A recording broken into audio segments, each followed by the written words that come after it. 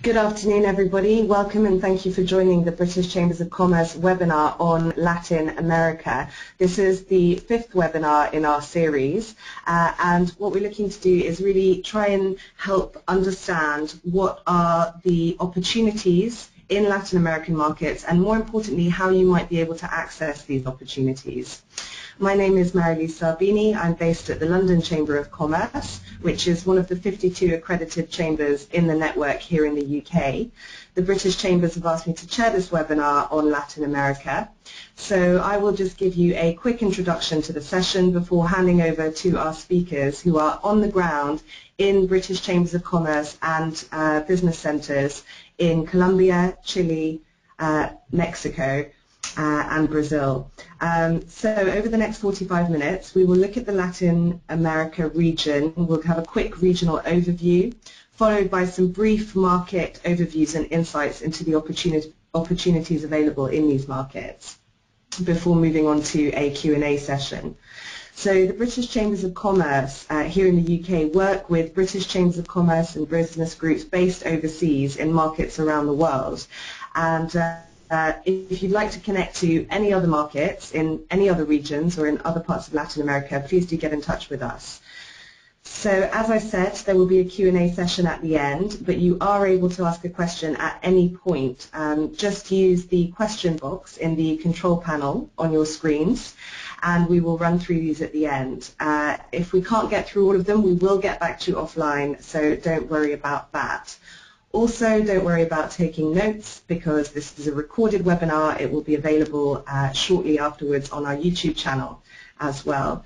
So without further ado, I will pass over to Ben Brown in Colombia, who is going to give us a quick regional overview.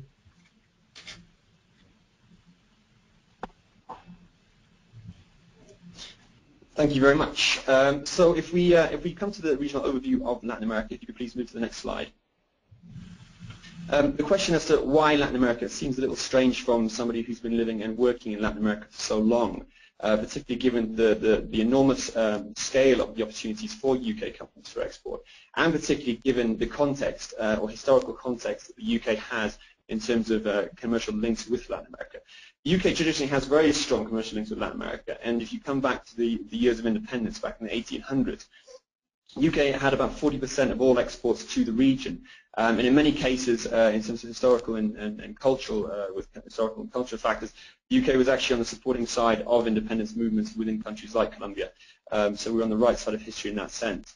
Um, today, unfortunately, the, uh, the situation has changed, uh, perhaps because of cultural reasons.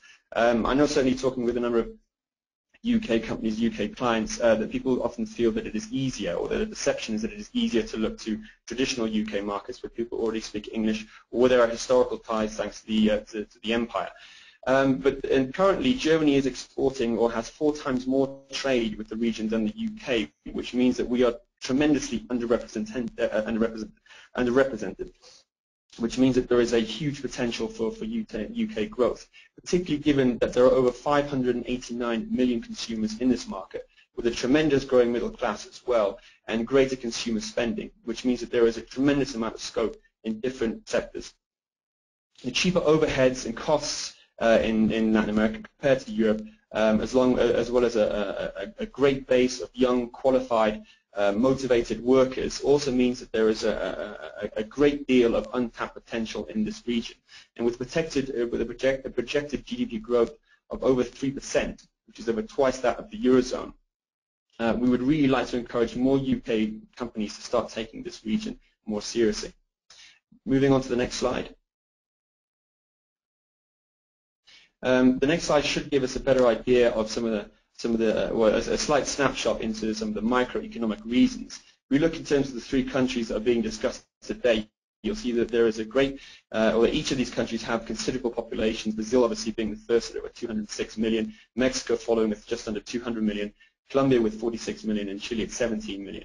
And between 2014 and 2013, you can see that the average GDP growth in these regions has, uh, has always been above 3%. Um, Brazil has obviously been a star performer in the past, uh, in, in, in, the last 10 years. Uh, but it's also important to note the other countries uh, in the region that have also uh, posted tremendous uh, growth. Um, also, it's interesting to note that it's very easy or relatively easy to do business within some of these countries. Not every country, as every country is different. Um, and also Latin America suffers from traditionally lower levels of corruption compared to Asian markets, which I know are very popular in the news and the media. Moving to the next slide.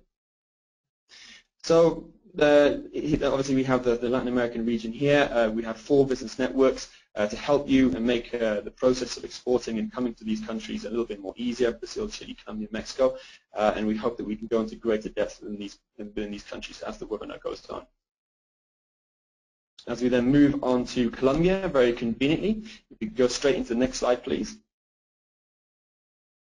Um, I know that unfortunately uh, for and various reasons, Colombia has often suffered from a negative perception uh, amongst the British public.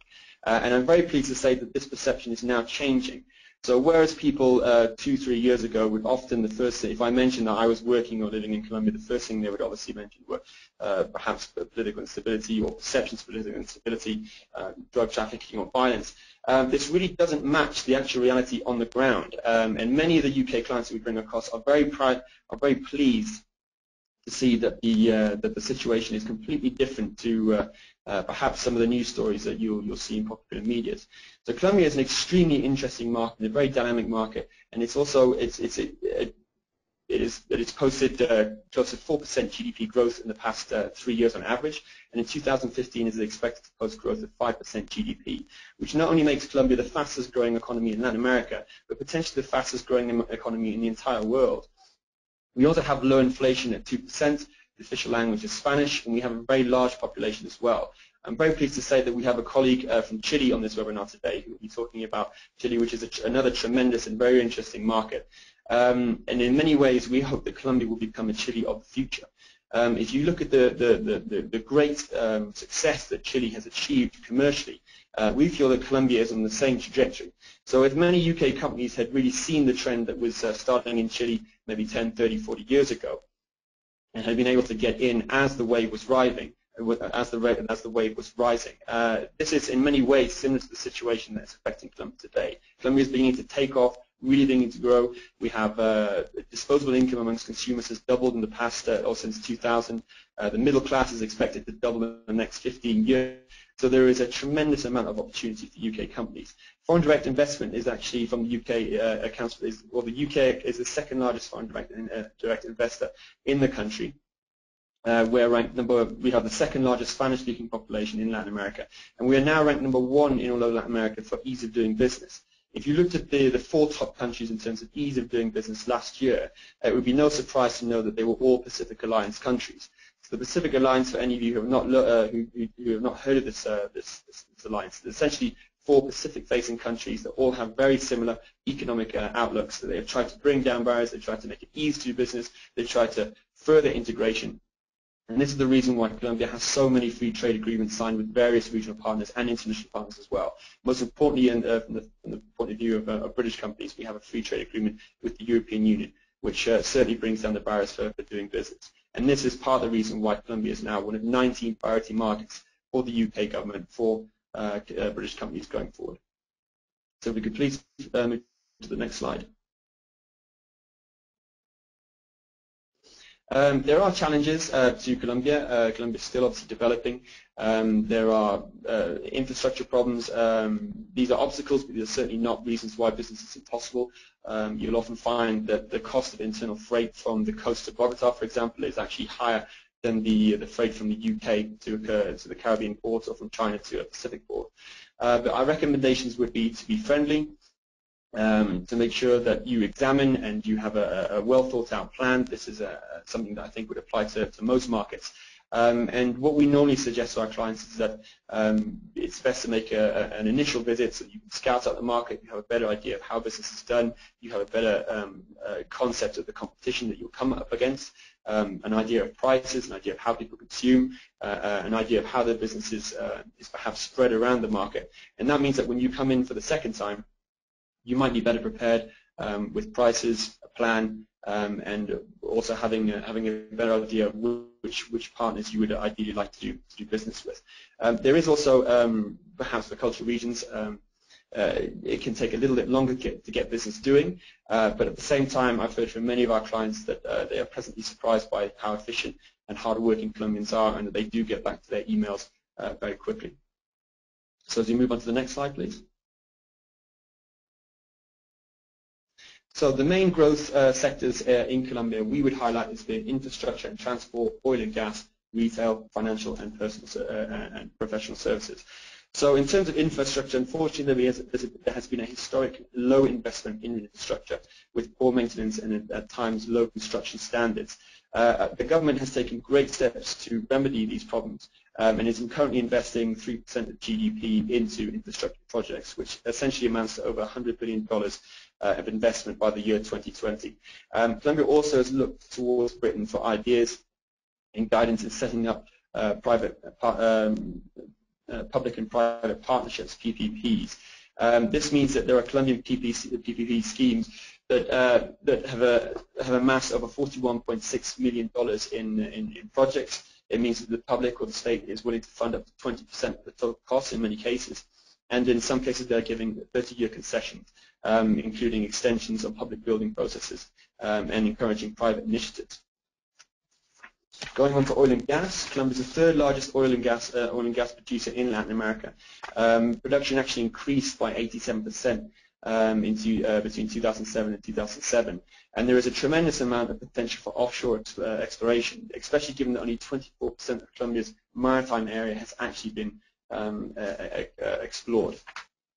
Offshore opportunities um, around 60% of Colombia's uh, potential crude oil reserves lie under the sea, for example. And uh, this is particularly where the UK has a tremendous amount of experience and expertise that we feel would uh, tremendously benefit uh, Colombia and allow for British uh, commercial success. Uh, retail is another considerable area for, for growth. Uh, Bogota is the second largest luxury market in South America. Uh, and what people don't understand, or many people don't realize, is that Bogota itself has a, a higher GDP than many regional countries, such as Uruguay, Costa Rica, or, or Ecuador, just the, just the city itself. Um, the retail market is growing at over 20% per year. Um, Bogota is the second largest luxury market outside of Sao Paulo in Latin America. 40% of all sales in the country come from retail.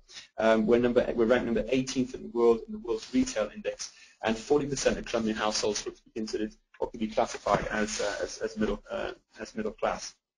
And this is the reason that more and more UK brands are flocking to the country, uh, such as Burberry, Mothercare, Hackett, Hunter Wellies, Church Shoes, Diageo, Weetabix, Brompton, Basement, or Barbour Jackets.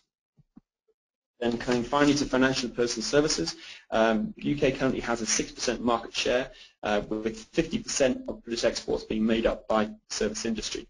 Um, there are a number of big players who are already in the market. So, for example, in banking and finance, we have HSBC. In insurance, we have JLT, Willis Howden, and Lloyd's of London is also aiming to, to, set up an office in Colombia in the near future. We have auditing, auditing firms such as Deloitte, PwC, Ernst Young, and legal service such as, uh, as Norton Rose. The insurance market is growing at 12% year on year, uh, which is essentially being driven by the growing young, vibrant, dynamic population, which is increasingly demanding more sophisticated and updated uh, uh, financial services. So we please move on to the very last slide. We have case studies with uh, companies that we've worked with, such as Waitrose, uh, with whom we are currently working to help them find uh, um, contacts uh, with some of the largest supermarket players in the market. Um, so if you're looking for testimonials, um, we have a very uh, good one from, from Waitrose at the, at the bottom. If you could please move on. Um, and I believe that would be uh, our last slide. Um, so I will pass to my colleague Andres in Chile. Oh, sorry, I have one last slide. Um, so how can we how can we, we help you? Very briefly, before you come to the market, uh, we can help raise awareness of your business. We can help provide fresh market knowledge uh, in the form of, of uh, market development reports or OMSs, the equivalent within the, the UKTI network. Uh, we can make contacts and relationships. We can help you launch new products and services. And then when your product is actually in market, we can also help to promote the, your brand, services, and products by organizing events or trying to trying to spread it with word of mouth and through our various media and UK Colombia Trade. So if we move on, I can pass on to my colleague Andres, who will be talking about the Chilean market. Thanks a lot, Ben. Uh, my name is Andres, and I work for Britain Business Services in the British Chilean Chamber of Commerce. Today I'll give you a brief overview about Chile, its most important economic sectors, and general tips and opportunities. Moving on to the next slide, please. Well, as it can be seen in the map to the left, Chile is located in South America's southeastern coast. It borders Peru to the north, Bolivia to the northeast, Argentina to the east, and the Pacific Ocean to the west. While Chile is far from being the largest economy in Latin America, it's widely regarded to be one of Latin America's most stable and prosperous countries. Liberal economic policies maintained consistently since the 80s have contributed to steady economic growth, low unemployment, control inflation, and reduce poverty levels. Chile leads Latin American nations in rankings of human development, competitiveness, income per capita, and economic freedom. Since July 2013, Chile is considered by the World Bank as a high-income economy and therefore as a developed country. In this sense, um, Chile is widely considered to be one of the safest London countries for entrance to the Latin American market. Moving on to the next slide, please.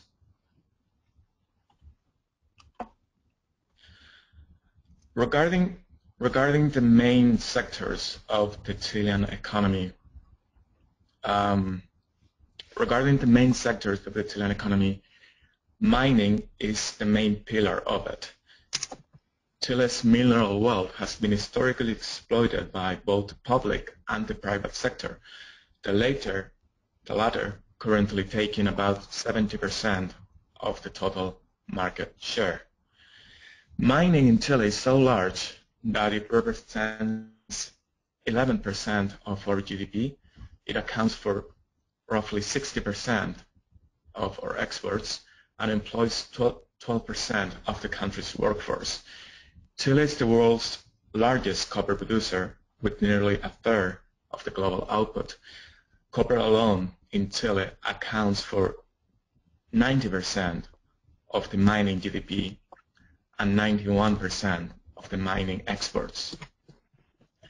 Some of the mining sector's most relevant challenges include first, the compliance with environmental norms in protected areas and the continual communication with local communities, which is paramount for the approval and seamless executions, execution of all mining projects. Another challenge is to increase competitiveness and productivity through new technologies and labor training as a way to counteract the growing energy prices. Then again, this is also an opportunity for several companies, especially coming from the UK, the US, and Europe in general. Uh, moving on to the next, the next slide, please. The second largest sector after mining is agribusiness, which accounts for 10% of Chile's GDP. The sector is largely, largely diversified and comprises three broad activities, agriculture, fishing and aquaculture, and thirdly, food processing. Chile aims to become a food-producing superpower. Currently, it's the world's 16th largest food exporter and aims to be within the top 10 by 2019. Today, Chile is the world's leading exporter of grapes, blueberries, and plums. It, it ranks second in avocados, cherries, fishmeal, trout, and salmon, third in frozen fruits, fourth in kiwis and apples, and fifth in wines. Some, some challenges for the sectors include, firstly, the fact, the fact that there is a relatively small number of key players, which can limit to some degree the possible deals and arrangements which can be made with distributors. Secondly, there are some technological challenges, especially for the medium-sized companies. However, I would say that this also means an opportunity for external providers. For example, while traceability technologies are being increasingly used by the main food producing companies, the small and the medium-sized companies are lagging behind to some extent. In the next slide, we will focus in retail. retail in Chile is largely developed in its supply and consumption, consumption of several brands for every category of products. Chile's retail market was worth above 60 billion in 2013 and it is expected to keep growing at about 14% over the next four years. In 2014, Chile was named by A.T. Kearney as the best emerging market in the world for retail opportunities. Um, it should also be noted that Chileans in general tend to associate British products with quality and prestige. This can be a very strong advantage for UK companies, especially, especially in retail. Um, however, there are some challenges that UK companies need to consider. For example, connecting with the local market, particularly, especially when it comes to selecting out the most appropriate distributors for any given product. Secondly, it also needs to be taken into account that while retail in Chile is developed and highly competitive, there is still a large space for potential growth. Consumer goods in the health and wellness and also the luxury areas, for example, are expected to grow faster as Chilean salaries continue to rise. In the next slide, we will see a flowchart which basically illustrates one of the main services we provide for UK companies. In particular, it summarizes one of the works we did for a British company working in the pharmaceutical and chemical industry, which was looking to enter the local market. We delivered a comprehensive list of potential distributors with a report of each company and also a market overview of the sector in Chile. Once the UK company received the report, it decided to come over to Chile to meet up with some of the local distributors in person. We accompany them to some of the meetings in order to assist them in any way possible. Currently, the company is in the process of selecting the most appropriate distributor. In all of this process, we were making sure to assist them in whatever they needed. In the next and final slide, we will see some of the main reasons why UK companies should invest in Chile. Firstly, we have a very low corruption and our culture is considered to be highly contract compliant. I would say that Chileans are straightforward in negotiations and normally get written confirmations on agreements. Secondly, like I said before, there is a very positive perception of UK goods and services. This is, of course, very relevant in the retail sector, but also applies to other sectors in other industries. Thirdly, Chile is highly open to trade. We are widely considered to be one of the most open countries in the world, and to this extent, companies are usually eager to get access to new products. Among the top tips I would mention, in the first place, while electronic communication is universally used, face-to-face -face meetings are usually crucial to do business. That will mean coming to Chile in order to make and or to close a deal. Secondly, punctuality and formality are highly valued in our business culture, more so than in other countries of Latin America. However, a light initial conversation and a bit of humor are always appreciated. Lastly, distributor agreements and high concentration might be barriers to entry in some markets. Bear in mind that Chile is a relatively small market where relationships in the business community are key to success. The selection of an appropriate agent or distributor is extreme, extremely important. For further information about Chile, I will be happy to assist you. Please don't hesitate to contact me at my email below. Many thanks for your time, and now I will pass you on to Laura from Mexico. Okay. Hello, thank you very much for that, Andres. Um, okay, so just to quickly summarise um, a bit about Mexico and what we can offer.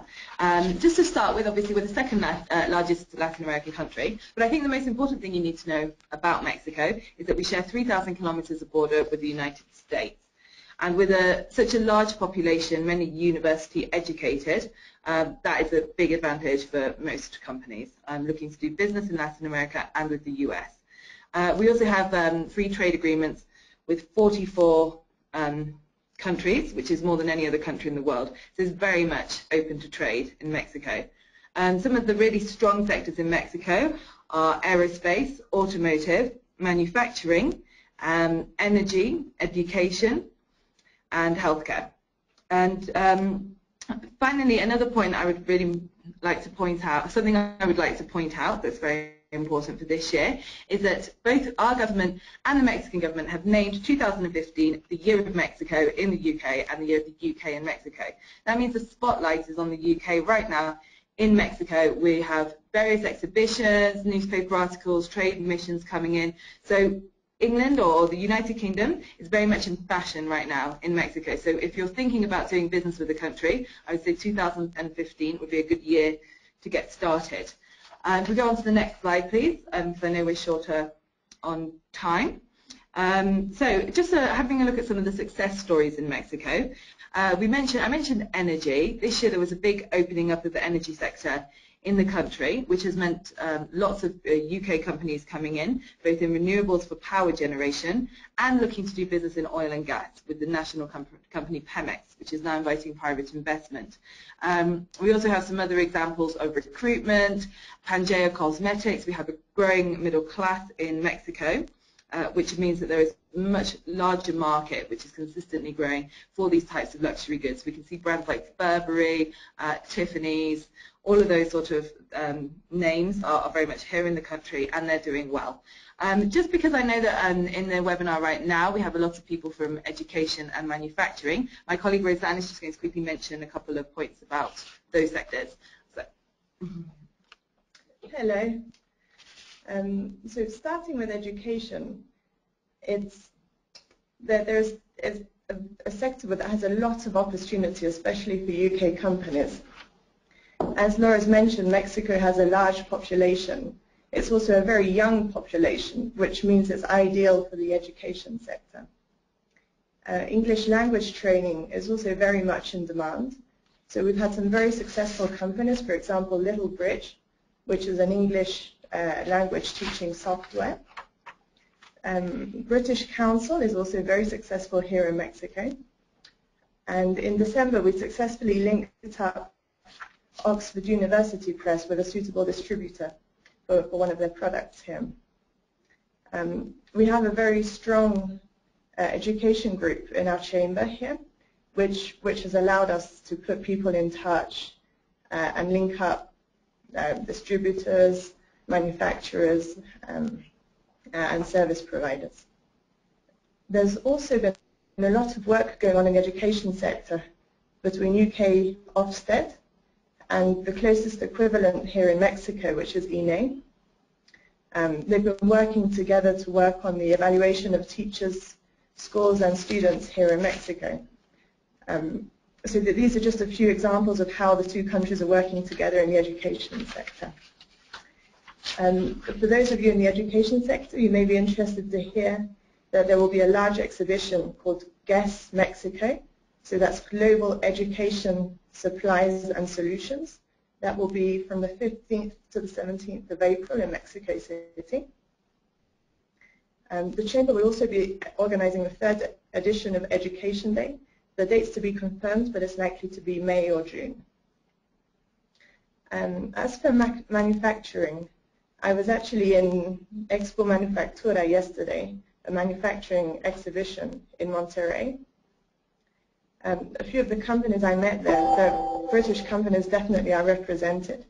Some companies such as Delcam, um, who offer CAD-CAM software solutions, Domino Printing Sciences, and Renishaw for sensors and calibration systems is, is very big here in Mexico. This exhibition will also take place next year, and I, I know that our colleagues at Monterrey um, the, the embassy in Monterrey will be having a stand. So if you're interested, please send us an email and we can put you in touch with them. There will also be another exhibition um, for manufacturing here in Mexico City called Expo Tecma. That will be early in early March. So again, if you're interested, please send us an email and we can help send you more information. I, I think that's it on those sectors, so I'll pass back to my colleague Laura to finish. Okay, great. Okay, so we just have a look now at the next slide where we're looking at some of the challenges and some of the tips for doing business in Mexico. Well, obviously in Mexico, the, the official language is Spanish.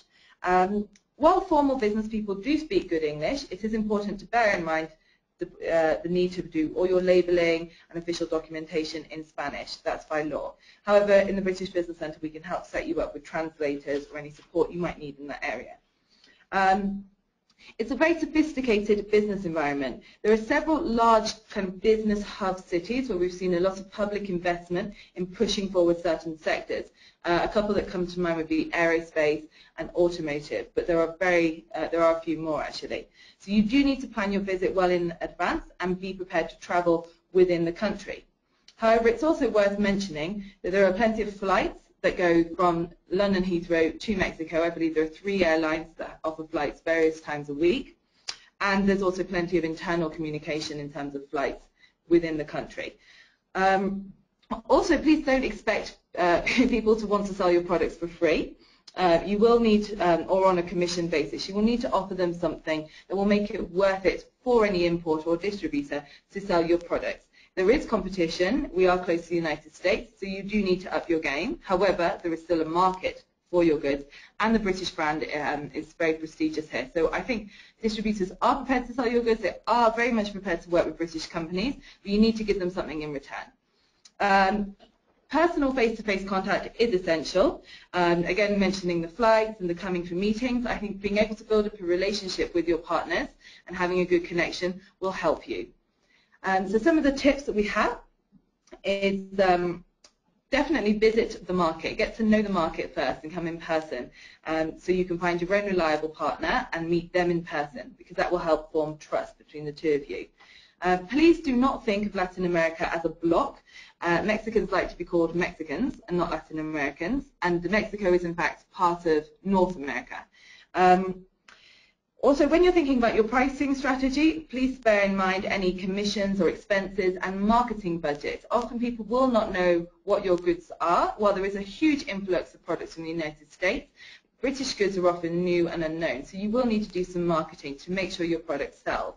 Letting people know that your product is British will always be helpful, as we've seen with success stories from companies such as Lush here in Mexico, where the owner has told us herself how, how helpful the British brand was for her company. Um, in terms of logistics, it shouldn't be too difficult. However, it's always very helpful to have an expert um, in the country helping you. Often trying to save money by making cuts on these things, you end up spending more in the long run. And um, finally, you can take advantage of uh, our mentoring services uh, through the British Business Centre. We can put you in touch with others who have gone before you, and you can try to learn from their mistakes, as is always very helpful. Um, so uh, finally, I think it's also worth mentioning that while we are not the British Chamber of Commerce, we are very much part of the British Chamber of Commerce, uh, which has a network of over 400 members who we can put you in contact with. And while we're talking about the importance of personal communication and face-to-face -face contact, the network of the British Chamber of Commerce will be very helpful to you. So it's always good to go through this route into the market. Um, and also, without exaggerating at all, I would have to say that the British Business Centre offices are some of the fanciest offices in Mexico City in one of the most exclusive areas. So that will definitely give you prestige and you're very welcome to use our facilities please just get in touch with us at the email addresses given. I know Rose mentioned some expos coming up in manufacturing and in education. However, the energy sector, the aerospace sector, we're seeing creative industries. We've also got retail. We have lots of events and lots of activity coming up in those sectors. And we're very happy to give you more information about those events so that you can really make the most of your visits to Mexico. So please just drop us a line and we'll do whatever we can to help you. And so now I'll pass back to Marilise. Thank you very much. Uh, good afternoon from Brazil. Just to give you a little bit of background information, um, without going through all the detail on this next slide, on this slide, I'd just like to reinforce that Brazil is a country of over 200 million people. It is currently the seventh largest economy in the world. Um, it is a net foreign creditor in terms of the fact that its foreign currency reserves are over uh, $350 billion. It has an economy of about $2.3 trillion um, and represents the seventh largest economy, but and will eventually grow due to the populational dividend over the next 25 to 40 years to be the fifth largest economy in the world, no matter how it's no matter how that uh, economy is is measured, uh, be it current purchasing power or in nominal terms. Um, one of the benefits of Brazil is we don't have border conflicts, we don't have major natural disasters, although we do suffer rainy seasons from time to time, and I'll come on to that. Uh, and also Brazil is a melting pot, very much similar to the United States in terms of the ethnic backgrounds to the population of Brazil. However, we still suffer from social inequalities. Uh, there's underinvestment in education. Uh, the judicial system is slow. It still is a bureaucratic uh, company, country. We have higher interest rates, a complex tax environment, um, and we also do suffer from infrastructure gaps. And from a UK point of view, the challenges that we have in Brazil do represent the opportunities and within those niches for UK companies. Uh, just to highlight on this next slide that Brazil recently uh, did achieve a 7.5% growth in GDP per annum back in 2010. So uh, the economy can grow at Chinese rates. But since 2010 through to 2014-15, that growth has reduced to about zero. So at the moment we're in an economic situation where interest rates are, are, are increasing and they're currently just over slightly 12% per annum using the government prime rate. Uh, the inflation rate is higher, it's over 6.5% um, and it's expected this year to be 7%. We've had delays in the infrastructure projects which have been announced, and you no doubt would have heard during the World Soccer World Cup last year some of the football stadia were, were, were finalised and finished leading up to the beginning of the World Cup and in some instances during the World Cup as well. Um, and in addition, at the moment, Petrobras, which is the, the state-controlled um, national oil company, right, is currently going through a major investiga investigation into political corruption. And also in 2013, there were some street protests by the middle class, which were started by the university uh, students and grew during a, a, three or four month period. Uh, they died down last year in 2014. And given all of the above that we've talked about just now on this slide, we're waiting to see what's going to happen in 2015 with the discomfort that the middle class are beginning to, to feel more hardly uh, during 2015. So we're waiting to see what's going to happen. Moving on to the next slide. Right, the mood is one of concern but not gloom. Uh, Brazilians by nature are always optimistic and look to the bright side rather than the pessimist side. Uh, we have a new finance minister who was appointed uh, in January. Um, he's fiscally astute. Um, he's announced some budget cuts and, and, has announced that over the next few years there will be an intention to uh, to balance the fiscal budget. So austerity in Brazil is a new macroeconomic word which has not been used for the last 12, 13 years. Um, so there is a right sizing that's going on in the economy at the moment. That said, I mean, Brazil is still a huge economy and a huge country. And any company which wishes to call itself a global player must be present in Brazil. Um, otherwise, there is a risk of being left behind over the next 25 years or so, whilst the potential and the populational dividend comes through. Uh, there is some uncertainty in 2015 regarding the Petrobras scandal. Um, and again, that is a sector where the UK is very strong in the oil and gas and the oilfield services sector. Um, and at the moment there is a strong British presence in this sector. So it's something which the UK is following closely. And despite the fact that we're in a tropical country, 80% of the electricity in Brazil comes from hydro sources, and we're currently, believe it or not, going through a drought um, that affects the southeast of Brazil uh, and the central region of Brazil despite the fact that Brazil has 25% of the world's natural water resources. Um, so it's a question of watching this space, especially in Rio and Sao Paulo. So as I said, uh, the mood is one of concern after 10, 12 years of, of stronger growth and very optimistic years, but it's not gloom and doom in Brazil. And to put it into context, Brazil is a country where the UK must increase its, its profile and its presence as the Brazilian economy will eventually become the fifth largest economy over the next couple of decades or so. Also, we've got to remember that the British um, in the early 1890s, 1900s, were big players in the investment in the infrastructure, and that's something which is not particular to Brazil, but to other countries in, in South and, and Latin America. There is a strong tradition for the British being um, present in the infrastructure area, and that still represents one of the biggest opportunities going forward.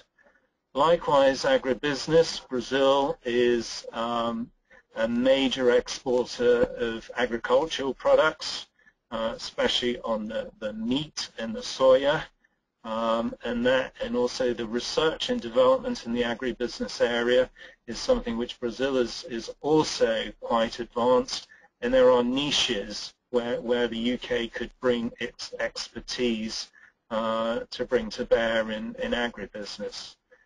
Embraer is another company. It's in the aerospace sector. Um, it's either the fourth or fifth largest airplane manufacturer in the world now.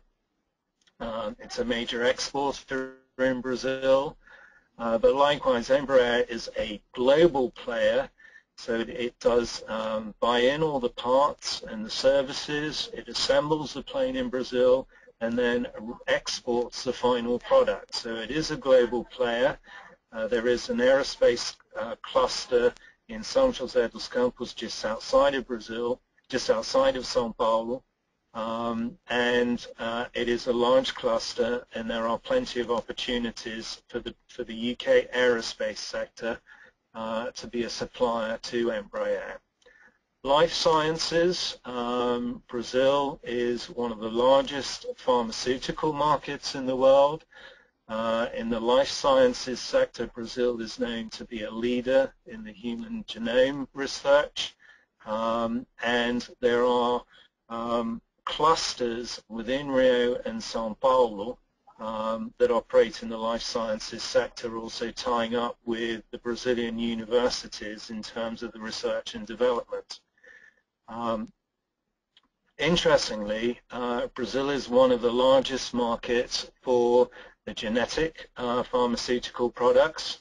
Uh, we've seen a lot of investment, but not much by British pharmaceutical companies or research institutes. Uh, but we are beginning to see more opportunities coming through uh, through the UK university system, uh, dialoguing and forming research partnerships with some of the Brazilian universities. Energy, oil and gas, and marine um, we've put that on, on as one integrated opportunity. Um, Brazil has a benefit of huge oil reserves um, in what they call the pre, uh, pre-salt layer, which means that the, these oil reserves are very deep. Um, they're in the deep sea, and they're also underneath a salt layer um, under the seabed um, and they're approximately 11, 7 to 11 kilometers uh, below the sea surface. Um, and the whole integrated chain of, of the exploration and um, lifting of the oil um, under the command of Petrobras and its joint venture partners um, represents a huge opportunity going forward. That despite the current situation, the, the, the, investigations into Petrobras with its, with its contracts with its supply, major suppliers, um, the, the investment over the next three to four years runs into the hundreds of billions of dollars, in excess of $250 billion. There are currently 29 uh, drilling vessels and platforms which are being built in Brazil, um, and they are being, when I say being built, they're being assembled, uh, but all the parts, um, despite the national uh, local content regulations, there are opportunities there for, for suppliers to come in and, and, and supply the construction of, of the parts, and likewise the oilfield services, you know, once the drilling rigs are, are, in production, there's going to be the whole servicing uh, of these uh, going forward mass transit, for those of you that have been to Rio and Sao Paulo, uh, will have experienced uh, the traffic problems that we have in these major cities. Uh, Sao Paulo is a city of 20 million people. Uh, we only have five or six uh, metro lines. Um, we have um, certain blackout periods during the week when you're not allowed to use your car depending on the number of the license plate. So the mass transit and an intelligent city sector um, is an opportunity as well. And Brazilian cities, as urbanization continues in Brazil, the major cities all along the coast primarily uh, will represent, will bring forward many opportunities in the mass transit sector. Uh, you've got to remember that Brazil has 20 cities with populations of over a million people. So it's not just Sao Paulo or Rio de Janeiro, but it's some of the major regional capital cities as well, where the opportunities arise, which means sort of having a look at the map of Brazil um, and, and choosing you know, your port of entry. It's not necessarily uh, the most obvious places like Sao Paulo and Rio de Janeiro. Rio de Janeiro. Uh, likewise, this, this current slide we're showing with a map of Brazil within the, the, the borders of the country, uh, we've highlighted the major cities um, within Brazil, but also some of the sectors which present good opportunities for the United Kingdom. And the purpose of this slide is to show, A, the size of Brazil, but B, the numbers of potential points of entries by geographic or regional basis, and also the drilling down which is required in order to see what the opportunities are within those regions and or cities. And they are diverse. It covers global sporting infrastructure in Rio and Sao Paulo. In 2016 we've got the Olympics. Most of the Olympics has already been planned. The construction is underway but some of the back-end services are, still being contracted, and the UK does represent, you know, strengths in that area, so there's still opportunities there. Um, another example is in Campinas, up, uptown, upstate São Paulo, the agribusiness.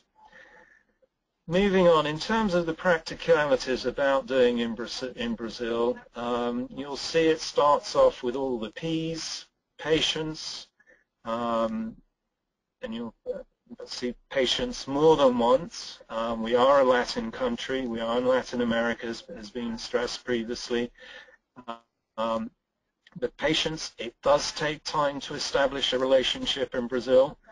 Flying in for two or three days and expecting to form a relationship and leave with a long-term contract um, is not the way things work in Brazil.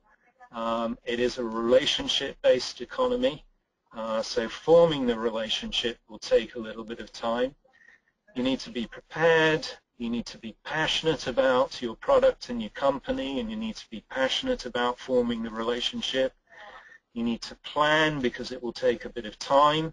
Um, it will not be able, you can't come into Brazil ordinarily and in two or three months you know, create the relationship, create the strategic plans, create the contracts, um, and then uh, start exporting to Brazil. It is something that is a long process, uh, and it's a relationship-based process. Destination target, that goes to the port of entry into Brazil. How do you come into Brazil? Um, which region do you choose? Um, rather than looking at the country as one country as a whole language, uh, we are Portuguese speaking in Brazil. It is not Spanish speaking. Um, most Brazilians at the business level will understand English, but will be reluctant to speak English um, out of fear of making errors. Right, so you have to break, break the language barrier and form confidence, um, and then you'll be able to, to do business in either language. Um, skill shortages and employment legislation. Uh, the employment legislation means the way business is done here in Brazil is very different to the Anglo-Saxon world um, in terms of um, assuming responsibilities and flexibility by members of staff that you're dealing with. Uh, so there'll be referral up the line to what the director or the general manager will, will, will, will approve. Uh, legal and tax issues, um, following up on strategy after you've visited Brazil. You'll need a good lawyer and accountant. And all that means that we get back to the initial point again that you need patience in terms of establishing the relationship and forming partnerships Brazil. And the final comment I will make is, yes, it is not an easy market. And you will no doubt have heard stories about how difficult it is to do business in Brazil. But remember, it will eventually, Brazil will eventually be the fifth largest economy in the world. Right? It will take make use of its populational dividends. Um, and if you want to be a global player, uh, you have to be present in Brazil in some shape, form, and manner, which means practicing the patience and developing the partners and preparing your plans right, and making up your follow-up strategy to continue to visit Brazil in order that you can form your partnerships in Brazil. Uh, just for anybody who is listening who would actually like to connect with the British Chamber in Brazil, you can find their details on the Export Britain website, uh, along with the details for Colombia, Mexico and Chile as well, uh, as this presentation being available online afterwards. We are very close to the end of time, but I think it's worth taking a couple of minutes to go through some of the questions that we've had come through. Um, just to go to Laura in Mexico, we've had a question. Are you able to provide more information on the aerospace companies in Mexico? Yeah, yes. Um, off the top of my head, um, I know that there are companies in Saltillo, Sonora. I can just um, get, well, uh, I, yeah, I'd be very happy to. Could I have the email address of that person? Because I could tell them uh, there's quite a few British companies established in the country. Most of them are in Querétaro, Saltillo, and other states to the north. I'd be happy to provide a list of the UK companies here if this company that is asking the question is supplying to those companies or any other information, and also about the aerospace. If they could please, or if you, Marilise, they could give me their details, uh, I could call them straight after this if you'd like. Excellent. Thank you very much for that, Laura. That's really good to know. I mean, I know this is what this is. Uh, this is your bread and butter. This is what you guys do. You connect companies here into the right distributors and the right supply chains and clients on the other side. So uh, we will follow up on that. Uh, just Laura, whilst we're with you, uh, just one question. You mentioned the British Chamber of Commerce in Mexico and the fact that the British Business Mexico is very much linked to that and very close to it. Um, the members uh, that you mentioned, are they generally Mexican companies or British companies or an equal mix? Um, I would say it's quite a mix. I'd say we have a lot of British companies, obviously, who are members, but as is the case, I think, in all countries, usually the, actual members of people who are coming to our events are, are Mexican, the British companies. Um, and we also have a lot of Mexican companies who work well with British companies, lots of suppliers British companies are also members of the British Chamber of Commerce, which I think would probably be similar in all the other markets. That's a guess, but yeah. That's, a good guess. Thank you very much, Laura. Uh, ben, back to you on Colombia. Um, we had a question. Could Ben speak about corruption within the logistics sector in Colombia? Uh, we're interested in developing a road cargo business, but are worried about cartel protection issues. Um, that's a very good question. Uh, Colombia ranks uh, doesn't actually rank that highly uh, in terms of corruption. If you look at the kind of world corruption indexes, Colombia is kind of in the medium, uh, in the middle of the pack. Um, and I think as I briefly mentioned in the webinar that uh, compared to other Asian markets, we're actually very good in terms of corruption. That's not to say that it doesn't exist. It's not to say that it isn't a consideration, um, but it's maybe not as bad as uh, as perceptions are outside of the country. Um, in terms of uh, specific corruption, uh, I think it would be important to note which regions you're working in. Um, there are still um, there, are, there are still uh, problems that are, are, leading from the internal conflict that we have. We have inter, we still have a, an ongoing peace process that has been negotiated in uh, Havana in Cuba. Um, mm -hmm. If that peace process is signed, for example, that will take away a lot of these corruption um, uh, problems that you may have for your business, and it is also expected to add an extra one or two percent onto GDP growth as well. Um, if you actually look at uh, in terms of population or consumers that are affected by uh, perhaps some of these issues with paramilitaries or, or cartels, um, you'll find about 5 or 6% of, uh, of consumers are actually located in areas that are affected by this. So the, the, the, the Colombian government has made tremendous uh, strides in uh, winning back land or, or, taking control and securing a large part of the country so that now most of these troubled areas are on the peripheries of the Colombian uh, country. So you'll find them towards the borders of Venezuela or perhaps towards the borders of Ecuador. Um, these are away from uh, large municipalities where most British businesses will be doing business. Great, thank you for that. That's a, a very good uh, immediate answer, and I'm sure the asker can uh, get in touch with you for, for more details if they'd like to go into more details about where they're particularly thinking about operating. Uh, one final uh, quick question for Andreas in Chile. Um, you mentioned in your presentation that there is this growing e-commerce market uh, taking off in Chile. Uh, we've had a question from a company which is trading with over 50 countries um, uh, online in e-retail. Uh, is there is there real scope? Is that taking off now, or what's what's your view on the potential for e-commerce in Chile? Yes. Um, yes, that's an interesting question because I would say that uh, well, retail while it's growing strongly, it's not really as strong as it is in Europe or the US, obviously. But then again, it is catching steam and it is growing at a fast rate. 70% uh, of Chileans who use the internet, for example, made between two and six online purchases in 2013, and the average household spent about 160 60 US dollars per year online. This is not that much, but actually the retail market in e-commerce is expected to keep growing fastly. Uh, right now, most of the Chilean house, households have access to the internet, and my perception is that initially buying online, um, well, people were a bit distrust, distrustful about it, but nowadays it's a lot more common especially for the younger generations, and, and people are starting to to buy more and more from the commerce market. I could probably give you more data about this if um, I could have an email, and I'll be happy to to give a, a, a better report of, of, the situation. But uh, overall, the e-commerce market is certainly growing. Okay, great. Thank you for that, Andreas, and we'll be sure to uh, connect to you after this. Uh, okay, well, we've reached the end of our time, uh, and we've uh, gone over by a few minutes, so I will wrap this up, and I will thank Andreas, Laura, and Ben uh, very much for their time and their insights, and thank you to all our listeners as well. Uh, just to wrap up, um, you can visit Export Britain, which is, uh, the link is up on your screens now. Uh, on Export Britain, as I said, you can connect to these British Chambers of Commerce and business groups based overseas.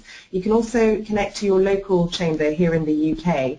And through that, you can access a wide range of international trade support, whether that's through these British business networks overseas or through uh, UK Trade Investment, the government support. And actually I just received a tweet during this webinar um, saying that the UKTI e-exporting program is uh, really useful in terms of this e-commerce that has topically come up with Andreas in Chile and, uh, and is no doubt important across all your markets. Um, so UKTI can provide an advisor and help with trademark or tax registration. So do, do go and check that out online. Uh, just to uh, flag again on Export Britain, you can find details of uh, events and trade missions going out to market um, for these particular markets. I know that a few of the Latin America partners will be over in the UK towards the end of this month. Uh, they will be doing a Latin America roadshow at various different locations, so you can check that out on the events page of Export Britain. And uh, actually there's a trade mission going out from London Chamber to uh, Colombia over to Ben uh, very soon. Uh, there's still a chance to sign up for that, I believe, so you can check that out on Export Britain as well. Uh, just a reminder again that this uh, has been recorded so you can access the information uh, from this webinar later on.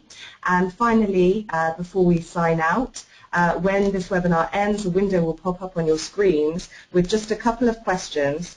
Uh, it would be great if you can answer them for us to make sure we give you the best possible follow-up. So on that note, thank you.